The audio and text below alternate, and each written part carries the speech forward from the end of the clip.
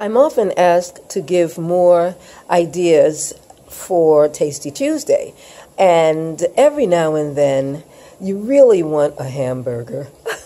I haven't had a burger in I don't I can't tell you how long it's been.